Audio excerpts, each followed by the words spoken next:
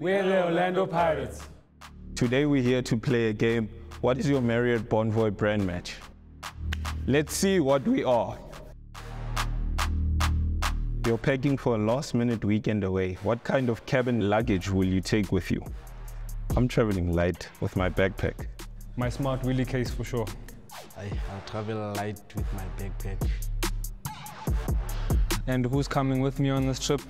Close family, of course. Obviously, obviously. Only Ah, you know, you know. holiday of, of your dreams absolutely must have this. Okay. How do you go about planning your next adventure? What is your favorite type of destination? I, I disagree. You're relaxing on the train en route to your destination. What are you listening to?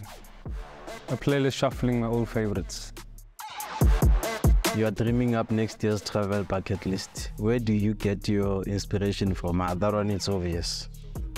Thank you. Thank you. I'll go for that one. When choosing a hotel, what do you usually look for? Me, I don't swim. I need a teacher. I need a teacher. I'm auto- autograph collection.